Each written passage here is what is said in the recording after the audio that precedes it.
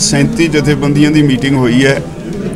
ਇਸ ਮੀਟਿੰਗ ਵਿੱਚ ਇੱਕ ਐਸਕੇਐਮ ਦਾ ਨੈਸ਼ਨਲ ਲੈਵਲ ਤੇ ਜਿਹੜਾ ਫੈਸਲਾ ਹੈ, ਉਹਨੂੰ ਐਂਡੋਰਸ ਕੀਤਾ ਹੈ। ਵੀ 16 ਫਰਵਰੀ ਨੂੰ ਭਾਰਤ ਬੰਦ ਕੀਤਾ ਜਾਏਗਾ। ਉਹ 9 ਫਰਵਰੀ ਨੂੰ ਸਾਰੇ ਪੰਜਾਬ ਵਿੱਚ ਥਾਂ ਥਾਂ ਸਾਰੀਆਂ ਜਥੇਬੰਦੀਆਂ ਰਲ ਕੇ ਰੋਸ ਮੁਜ਼ਾਹਰੇ ਕਰਨਗੀਆਂ। ਭਾਨਾ ਸਿੱਧੂ ਦੀ। ਔਰ ਉਹਨਾਂ ਵੱਲੋਂ ਦੇਖੋ ਟਰੈਵਲ ਏਜੰਟਾਂ ਦੇ ਸਤਾਏ ਹੋਏ ਲੋਕਾਂ ਨੂੰ ਪੈਸੇ ਦਵਾਏ ਜਾ ਰਹੇ ਆ। ਤੋ ਸਰਕਾਰ ਹੁਣ ਜਿਹੜੇ ਇਹੋ ਜਿਹੇ ਸਮਾਜ ਦੇ ਵਿੱਚ ਵਿਚਰਨੇ ਵਾਲੇ ਲੋਕ ਆ, ਜਾਂ ਸਮਾਜ ਸੇਵੀ ਲੋਕ ਆ, ਜਿਹੜੇ ਲੋਕਾਂ ਦੀ ਮਦਦ ਕਰਦੇ ਆ, ਸੋ ਉਹਨਾਂ ਦੀ ਆਵਾਜ਼ ਨੂੰ ਦਬਾਉਣ ਦੀ ਕੋਸ਼ਿਸ਼ ਕਰ ਰਹੀ ਆ, ਉਹਨਾਂ ਤੇ ਨਜਾਇਜ਼ ਪਰਚੇ ਦਰਜ ਕਰ ਰਹੀ ਹੈ ਇਸ ਤੋਂ ਬਿਨਾਂ ਖੇਤੀਬਾੜੀ ਦੇ ਵਿੱਚ ਜਿਹੜਾ ਸਬਸਿਡੀਆਂ ਦੇ ਨਾਂ ਤੇ ਬਹੁਤ ਕ- ਘਪਲਾ ਹੋਇਆ, ਉਹਦੀ ਗਾਜ ਛੋਟੇ ਮੁਲਾਜ਼ਮਾਂ ਤੇ ਸਿੱਟੀ ਜਾ ਰਹੀ ਹੈ। ਜਿਹਦੇ 'ਚ ਵੱਡੇ ਅਫਸਰ, ਬਹੁਤ ਸਾਰੇ ਲੋਕ ਸ਼ਾਮਲ ਆ। ਅਸੀਂ ਸਮਝਦੇ ਉਹਦੀ ਸਹੀ ਢੰਗ ਦੇ ਨਾਲ ਪੜਤਾਲ ਹੋਣੀ ਚਾਹੀਦੀ ਹੈ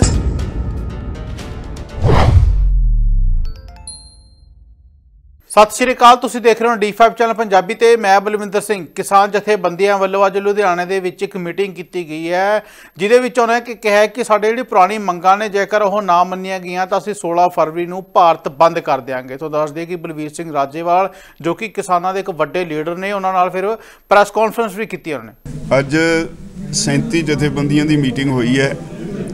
ਇਸ ਮੀਟਿੰਗ ਵਿੱਚ ਇੱਕ ਐਸਕੇਐਮ ਦਾ ਨੈਸ਼ਨਲ ਲੈਵਲ ਤੇ ਜਿਹੜਾ ਫੈਸਲਾ ਹੈ, ਉਹਨੂੰ ਐਂਡੋਰਸ ਕੀਤਾ ਹੈ। ਵੀ 16 ਫਰਵਰੀ ਨੂੰ ਭਾਰਤ ਬੰਦ ਕੀਤਾ ਜਾਏਗਾ। ਇਹਦੇ ਲਈ ਟ੍ਰੇਡ ਯੂਨੀਅਨਸ ਨਾਲ ਇੰਡਸਟਰੀ ਇੰਡਸਟਰੀ ਵਰਕਰਸ ਦੀ ਯੂਨੀਅਨ ਨਾਲ ਤੇ ਟਰਾਂਸਪੋਰਟ ਵਰਕਰਸ ਦੀ ਯੂਨੀਅਨ ਯੂਨੀਅਨਸ ਦੇ ਨਾਲ ਤੇ ਜਿਹੜੀ- ਜਿਵੇਂ ਵਪਾਰੀਆਂ ਦੀਆਂ ਯੂਨੀਅਨਸ ਦੇ ਨਾਲ ਤਾਲਮੇਲ ਕੀਤਾ ਜਾਏਗਾ ਤਾਂ ਕਿ ਸਾਰੇ ਇਕੱਠੇ ਹੋ ਕੇ ਇਸ ਬੰਦ ਨੂੰ ਸਫਲ ਬਣਾਈਏ। ਇਸ ਤੋਂ ਪਹਿਲਾਂ ਇਸੇ ਸੰਬੰਧ ਚ ਇਹਨੂੰ ਗਰਮ ਕਰਨ ਲਈ ਮਾਹੌਲ ਨੂੰ 9 ਫਰਵਰੀ ਨੂੰ ਸਾਰੇ ਪੰਜਾਬ ਵਿੱਚ ਥਾਂ ਥਾਂ ਅ, ਸਾਰੀਆਂ ਜਥੇਬੰਦੀਆਂ ਰਲ ਕੇ ਰੋਸ ਮੁਜ਼ਾਹਰੇ ਕਰਨਗੀਆਂ। ਕਿਹੜੀ ਜਗ੍ਹਾ ਕਰਨਗੇ ਜੀ? ਤਹਿਸੀਲ ਪੱਧਰ ਤੇ। ਤਹਿਸੀਲ ਪੱਧਰ ਤੇ। ਇਸੇ ਤਰ੍ਹਾਂ ਅਗਲੀ ਮੀਟਿੰਗ 18 ਤਰੀਕ ਨੂੰ ਚੰਡੀਗੜ੍ਹ ਰ- ਸੱਦੀ ਗਈ ਹੈ ਜਿਹਦੇ ਚ ਅ, 16 ਦੀ ਅਸੈਸਮੈਂਟ ਕਰਕੇ ਅਗਲਾ next course of action declare ਕੀਤਾ ਜਾਏਗਾ। ਅੱਜ ਜਿਹੜਾ ਸਭ ਤੋਂ ਅਹਿਮ ਫੈਸਲਾ ਉਹ ਇਹ ਹੈ ਵੀ ਅ, 16 ਫਰਵਰੀ ਨੂੰ ਭਾਰਤ ਬੰਦ ਹੋਏਗਾ। ਭਾਰਤ ਬੰਦ ਵਿੱਚ ਸਾਰੀਆਂ ਟ੍ਰੇਡ ਯੂਨੀਅਨਸ ਵਰਕਰਸ ਦੀਆਂ ਯੂਨੀਅਨਸ ਇੰਡਸਟਰੀਅਲ ਵਰਕਰਸ ਯੂਨੀਅਨ ਤੇ ਟਰਾਂਸਪੋਰਟ ਯੂਨੀਅਨਸ ਤੇ ਜਿਹੜੀਆਂ ਜਿੰਨੀਆਂ ਵੀ ਜਥੇਬੰਦੀਆਂ ਕੋਈ ਵਪਾਰੀਆਂ ਦੀਆਂ ਯੂਨੀਅਨਸ ਉਹਨਾਂ ਨੂੰ ਸਾਰਿਆਂ ਨਾਲ ਤਾਲਮੇਲ ਕਰਕੇ ਇਹਦੇ ਵਿੱਚ ਸ਼ਾਮਿਲ ਕੀਤਾ ਜਾਏਗਾ। ਇਹ ਜਿਹੜੀਆਂ ਕਿਸਾਨੀ ਦੀਆਂ ਪੁਰਾਣੀਆਂ ਮੰਗਾਂ ਰਹਿੰਦੀਆਂ ਹਾਂਜੀ। ਉਹਨਾਂ ਨੂੰ ਮਨਵਾਉਣ ਵਾਸਤੇ। ਕਿਸਾਨੀ ਦਾ ਕੁਝ ਟ੍ਰੇਡ ਯੂਨੀਅਨ ਦੀਆਂ ਆਪਦੀਆਂ ਮੰਗਾਂ ਉਹਨਾਂ ਵਾਸਤੇ ਟ੍ਰੇਡ ਯੂਨੀਅਨ ਤੇ ਕਿਸਾਨ ਰਲ ਕੇ ਤਾਲਮੇਲ ਕਰਕੇ ਹਿੰਦੁਸਤਾਨ ਲੈਵਲ ਤੇ ਮਤਲਬ ਭਾਰਤ ਬੰਦ ਕਰ ਰਹੇ ਆ ਉਸ ਟਾਈਮ ਇੱਕ ਜਿਹੜਾ ਹੈਗਾ ਟਰਾਂਸਪੋਰਟ ਵਾਲਿਆਂ ਵਾਸਤੇ ਹਿੱਟ ਐਂਡ ਰਨ ਦਾ ਕਾਨੂੰਨ ਬਣਿਆ ਉਹਦੇ ਵਿਰੋਧ ਚ ਹੈ ਹਾਂਜੀ। ਤੇ ਇੰਡਸਟਰੀਅਲ ਵਰਕਰਸ ਦੀਆਂ ਕੁਝ ਮੰਗਾਂ ਨੇ ਉਹਦੇ ਉਹਦੀ ਹਮਾਇਤ 'ਚ ਹੈ ਸਾਰੀਆਂ ਜਿਹੜੀਆਂ ਯੂਨੀਅਨਸ ਨੇ ਉਹਨਾਂ ਦੀਆਂ ਜਿਹੜੀਆਂ ਇਕੱਲੇ-ਇਕੱਲੇ ਇੱਕ ਇੱਕ ਮੰਗ ਤੇ ਲੜ ਰਹੀਆਂ ਉਹਨਾਂ ਸਾਰੀਆਂ ਦੀ ਲੜਾਈ ਲਈ ਇੱਕ ਮੰਚ ਤਿਆਰ ਕੀਤਾ ਹੈ ਜਿਹੜਾ ਸਾਰੇ ਰਲ ਕੇ ਇਹ ਜਿਹੜਾ 16 ਤਾਰੀਖ ਦਾ ਭਾਰਤ ਬੰਦ ਕਰਨਗੇ। ਇੱਕ ਮੈਂ ਸਪਸ਼ਟ ਕਰ ਦਿਆਂ 31 ਤਾਰੀਖ ਨੂੰ ਜਿਹੜੀਆਂ ਟ੍ਰੇਡ ਯੂਨੀਅਨਸ ਨੇ ਤੇ ਇੰਡਸਟਰੀਅਲ ਵਰਕਰਸ ਯੂਨੀਅਨਸ ਨੇ ਉਹਨਾਂ ਨਾਲ ਇੱਥੇ ਇੱਕ ਸਾਂਝੀ ਵੱਡੀ ਮੀਟਿੰਗ ਐਸੇ ਜਗ੍ਹਾ ਤੇ ਇਸੇ ਦਫ਼ਤਰ ਐਸੇ ਦਫ਼ਤਰ ਵਿੱਚ ਇਸ 31 ਤਾਰੀਖ ਨੂੰ ਇੱਥੇ ਹੋਏਗੀ। ਤੇ ਕਾਰਪੋਰੇਟ ਹਾਊਸਿਸ ਦਾ ਵਿਰੋਧ ਹੋਣਾ ਸ਼ੁਰੂ ਹੋ ਗਿਆ। ਪਹਿਲਾਂ ਜਰਮਨ ਵਿੱਚ ਕਿਸਾਨ ਅੰਦੋਲਨ ਤੇ ਸੀ, ਹੁਣ ਫਰਾਂਸ 'ਚ ਵੀ ਅੰਦੋਲਨ ਸ਼ੁਰੂ ਹੋ ਗਿਆ, ਪੋਲੈਂਡ 'ਚ ਵੀ ਸ਼ੁਰੂ ਹੋ ਗਿਆ, ਇਸ ਤੋਂ ਪਹਿਲਾਂ ਹਾਲੈਂਡ 'ਚ ਇੱਕ ਅੰਦੋਲਨ ਸ਼ੁਰੂ ਹੋ ਚੁੱਕਾ ਹੈ। ਤੇ ਸਾਰੀ ਦੁਨੀਆ ਦੇ ਵਿੱਚ ਕਾਰਪੋਰੇਟਸ ਦੇ ਖਿਲਾਫ ਆਵਾਜ਼ ਉੱਠਣੀ ਸ਼ੁਰੂ ਹੋ ਗਈ ਹੈ।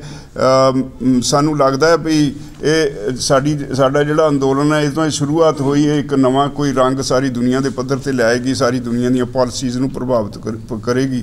ਜਿਸ ਤਰ੍ਹਾਂ ਸਾਡਾ ਦੇਸ਼ WTO ਦੇ ਦਬਾਅ ਹੇਠ ਸਾਰ- ਜਿਹੜੀਆਂ ਕਾਰਪੋਰੇਟਸ ਨੂੰ ਸਭ ਕੁਝ ਦੇਈ ਜਾ ਰਿਹਾ ਹੈ, ਤੇ ਸਰਕਾਰਾਂ ਨੂੰ ਰੀਥਿੰਕ ਕਰਨਾ ਪਏਗਾ ਵੀ ਕੀ ਇਹ ਜਿਹੜੀ ਖੁੱਲੀ ਮੰਡੀ ਦੀਆਂ ਪਾਲਿਸੀਜ਼ ਦੇ ਨਾਲ ਕਾਰਪੋਰੇਟ ਹਾਊਸਿਸ ਨੂੰ ਸਾਰੇ ਮੁਨਾਫੇ ਵੰਡਣ ਦਾ ਰੁਝਾਨ ਹੈ, ਉਹਨੂੰ ਉਹ ਜਦੋਂ ਲੋਕ ਹੁਣ ਬਰਦਾਸ਼ਤ ਨਹੀਂ ਕਰਦੇ ਤਾਂ ਇਹਦਾ ਬਦਲ ਕੀ ਹੈ? ਇਹਦੇ ਤੇ ਸਰਕਾਰਾਂ ਨੂੰ ਸੋਚਣਾ ਪਏਗਾ। ਅਸੀਂ ਉਹ ਜਿਹੜੇ ਜਿਹੜੇ ਉੱਥੇ ਦੇ ਕਿਸਾਨ ਜਰਮਨ ਦੇ ਫਰਾਂਸ ਦੇ ਹਾਲੈਂਡ ਦੇ ਪੋਲੈਂਡ ਦੇ ਜਿਹੜੇ ਲੜ ਰਹੇ ਨੇ ਅਸੀਂ ਉਹਨਾਂ ਨਾਲ ਇਕਜੁੱਟਤਾ ਦਾ ਪ੍ਰਗਟਾਵਾ ਕਰਦੇ ਹਾਂ। ਅੱਜ ਇੱਕ ਮਤਾ ਪਾਸ ਕੀਤਾ ਹੈ।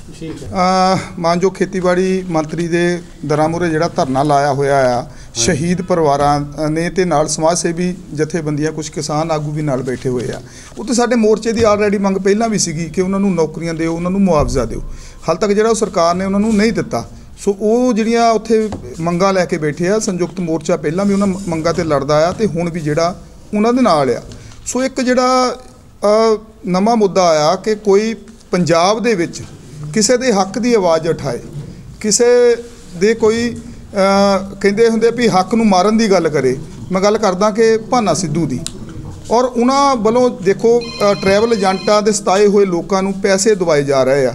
ਤੋ ਸਰਕਾਰ ਹੁਣ ਜਿਹੜੇ ਇਹੋ ਜਿਹੇ ਸਮਾਜ ਦੇ ਵਿੱਚ ਵਿਚਰਨੇ ਵਾਲੇ ਲੋਕ ਆ, ਜਾਂ ਸਮਾਜ ਸੇਵੀ ਲੋਕ ਆ, ਜਿਹੜੇ ਲੋਕਾਂ ਦੀ ਮਦਦ ਕਰਦੇ ਆ, ਸੋ ਉਹਨਾਂ ਦੀ ਆਵਾਜ਼ ਨੂੰ ਦਬਾਉਣ ਦੀ ਕੋਸ਼ਿਸ਼ ਕਰ ਰਹੀ ਆ, ਉਹਨਾਂ ਤੇ ਨਜਾਇਜ਼ ਪਰਚੇ ਦਰਜ ਕਰ ਰਹੀ ਹੈ ਸੋ ਉਹ ਜਿਹੜੇ ਪਰਚੇ ਦਰਜ ਕਰਕੇ ਦੇਖੋ, ਇੱਕ ਪਰਚਾ ਉਹਨਾਂ ਨੇ ਪਹਿਲਾਂ ਦਰਜ ਕੀਤਾ ਤੇ ਜ਼ਮਾਨਤ ਕਰਵਾ ਲਈ। ਉਹ ਦੂਜਾ ਫਿਰ ਚੈਨ ਚੋਰੀ ਕਰਨ ਦਾ ਜਿਹੜਾ ਸੋਨੇ ਦੀ ਚੈਨ ਚੋਰੀ ਕਰਨ ਦਾ ਪਰਚਾ ਦਰਜ ਕਰ ਦਿੱਤਾ, ਫਿਰ ਇੱਕ ਹੋਰ ਪਰਚਾ ਦਰਜ ਕਰ ਦਿੱਤਾ।